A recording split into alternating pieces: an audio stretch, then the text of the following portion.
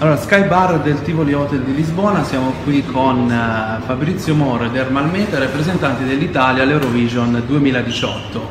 Buongiorno ragazzi. Buongiorno. Ciao allora, eh, raccontateci subito quali sono le vostre impressioni, non tanto sulla città ma proprio sull'evento. Noi siamo proprio focalizzati sull'Eurovision, quindi faremo tutte domande legate a questo. La differenza ad esempio con Sanremo, perché voi siete ormai dei veterani, avete partecipato un sacco di volte a Sanremo. Sì, la parola veterano, veterano è, comincia a darmi fastidio.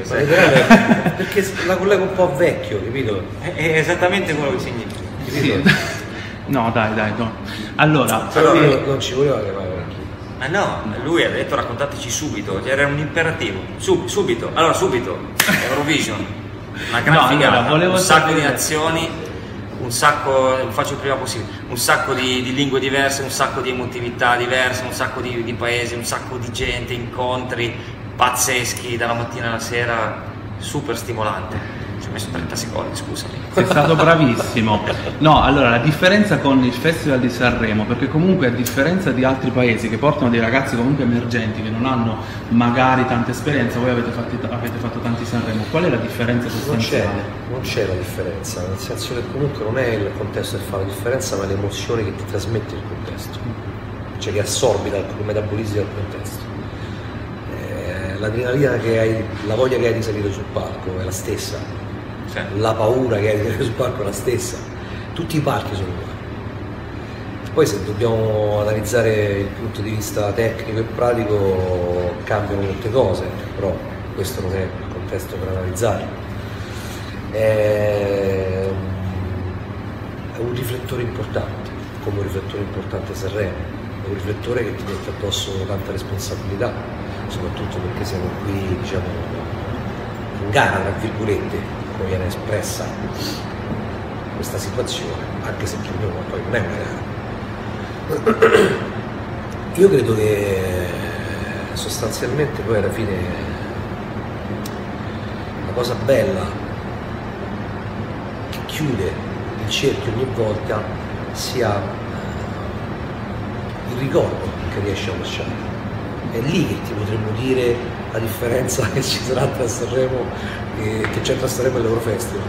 Beh, Sanremo probabilmente da un punto di vista tecnico un po' più difficile perché c'è un'orchestra gigante, quindi tecnicamente l'esecuzione proprio musicale è, è molto più difficile, cioè, c'è un'esecuzione musicale quando in realtà qui, qui non c'è. Qui, qui, qui, qui è, è, voce, è voce su base, la base è già fatta, fine, quindi tu canti, quindi c'è più concentrazione su quello che è la parte visiva, cioè telecamere, giochi di luce, eccetera, che sono spettacolari. Anche a Sanremo lo sono, però a Sanremo c'è tutta la parte tecnica, sono 60 musicisti che suonano. Non è facile mettere insieme 60 musicisti, poi sono sicuramente bravissimi, eccetera. questa è una, è una grande differenza tra l'Eurovision e Sanremo, sicuramente. Sul palco porterete un messaggio di unione eh, tra le persone, tra le religioni. Ci sono molti seguaci dell'evento che appena è stata presentata la canzone ufficialmente per l'Italia hanno fatto dei parallelismi con un'altra canzone in gara, quella della Francia. Non so se vi è capitato di ascoltarla. Sì. Mercy dei Madame Monsieur. Voi trovate delle correlazioni oppure pensate che non, non, ci siano? Perché veramente tanti commenti che ho letto, non di italiani quanto di stranieri, facevano questo paragone. È un tema sociale come, come lo è il nostro, quindi quando, quando si, si, entra nello stesso campo, diciamo, è neanche a volte facile fare delle analogie, sono due canzoni secondo me molto diverse. Ma poi benvengono le analogie, cioè, nel senso che comunque benvengono somiglianze anche. Se si parla di messaggi di, di un messaggio di speranza, se si parla di un messaggio di coraggio, di rivalsa, benvengano. Assolutamente sì.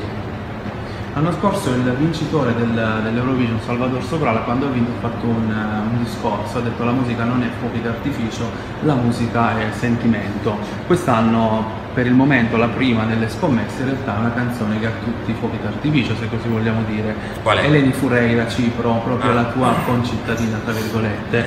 Qual è invece il vostro pensiero appunto su questo dualismo che c'è all'Eurovision? Vediamo tante canzoni con fuochi d'artificio ma anche canzoni con, con messaggi. Ma dici, eh, è anche fuochi d'artificio. Io la penso come soprano. La musica non è fuochi d'artificio. Secondo me invece è anche fuochi d'artificio. Cioè qualsiasi cosa possa trasmettere emozioni. C'è chi Lo sia spettacolo è fuochi d'artificio, la musica in sé. ma c'è chi eh, poi che, in che, che analogia entriamo però c'è chi si eh, emoziona con il fuoco d'artificio accompagnato dalla musica e c'è chi si emoziona con il messaggio c'è chi si emoziona anche sentendo delle parole e basta senza musica Quindi Sì, bisogna sì. rispettare Il mondo è assolutamente vasto, cioè, assolutamente sì. Salvatore Sobral ha espresso una sua opinione con la quale io sono d'accordo, ma non vuol dire che un pensiero sia più giusto di l'altro. Assolutamente ci mancherebbe. l'importante è che una condizione riesca a trasmettere energia positiva che sia un fuoco d'artificio che sia una parola o che sia una melodia Guarda, se ti emoziona, se ti, se ti emoziona va bene. esatto La regola è sempre quella. Allora, messaggio di alleanza di questa canzone che tra l'altro vedremo eh, tradotta in varie lingue, vedremo dei pezzi di, di Sì. brani tradotti in varie lingue. Eh, non voglio parlare di politica, però comunque vediamo che nel mondo la politica sta andando in, un certo- in una certa direzione. Secondo voi il vostro messaggio potrebbe aiutarvi o penalizzarvi nel piazzamento finale? Penalizzarci no, cioè se ci penalizza... eh, boh, se ci penalizzasse sarebbe veramente strano. Sarebbe strano perché noi non siamo qui a fare politica. E della politica... cioè, dalla politica siamo rimasti sempre lontani, soprattutto con questa canzone. Questa è una canzone che parla di persone, che parla di umanità, che parla di amore nei confronti della vita. Eh, se la politica non è d'accordo con l'amore nei confronti della vita, allora non si può definire politica. Il problema, è che si tende, il problema è che si tende a politicizzare tutto Eh, qualsiasi cosa, anche un messaggio d'amore.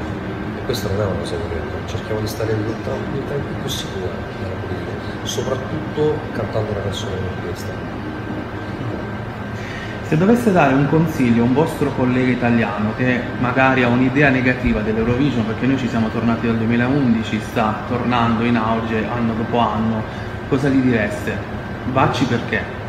Vieni a farci un giro, vieni, a farti un giro con noi, collega italiano, ma no, ma non c'è, in Italia nessuno ha dei giudizi contro l'Eurovision. Cioè, è una, una manifestazione apprezzata ed amata da tanti artisti, da tantissimi artisti, da tanti nostri colleghi e siamo felici di essere qui a rappresentare l'Italia perché tanti colleghi vorrebbero stare al nostro posto e quindi questa è una grande responsabilità che ci portiamo sulle spalle e cerchiamo di farlo al meglio. puoi trovare ispirazione anche dove non te l'aspetti, anche dove non ti aspetti di trovare qualcosa di bello, puoi trovarci.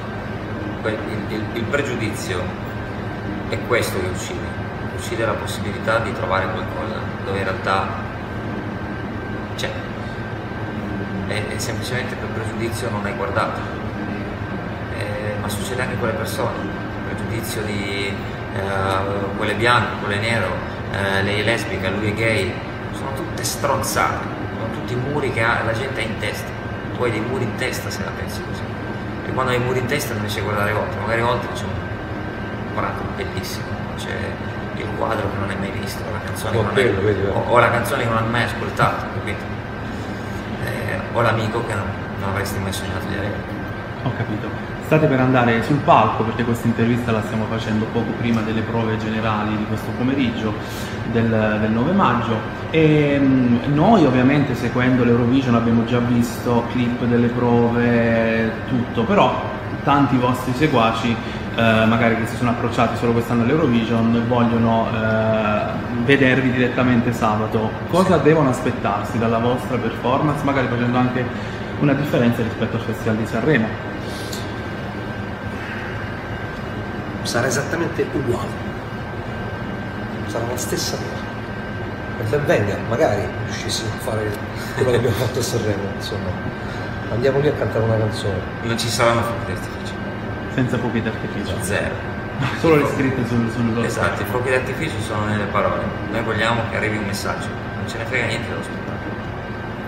Ho capito. Ultima Ci domanda. interessa delle emozioni.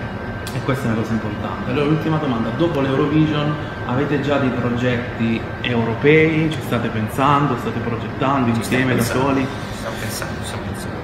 Eh, naturalmente organizzare in Europa è insomma, un po' più complesso, no? Però, visto insomma come siamo partiti, non ci aspettavamo insomma il percorso che questa canzone ha fatto per questi mesi. Ci siamo conosciuti, abbiamo riflettuto molto sull'idea di lavorare insieme. Abbiamo scritto questa canzone senza pensare a Sanremo, senza pensare a vincere Sanremo, andare all'Eurovision. Eh, La vita è bella perché è così, perché di punto in bianco può succedere quello che più lontanamente ti aspetti. Quindi perché no? Magari un giorno riusciremo a fare un tour eh, insieme in tutta Europa, sarebbe fantastico. Molto complicato, come dice Herman, da, da gestire da, da fare, ma io ci credo, ci credo molto. E noi crediamo in questa canzone e vi facciamo l'in bocca al lupo, il più grande in bocca al lupo che possiamo fare ai nostri rappresentanti Grazie. e quindi a sabato eh, in diretta su Rai 1 a partire dalle 21. Grazie. Ciao ragazzi, grazie. Ciao.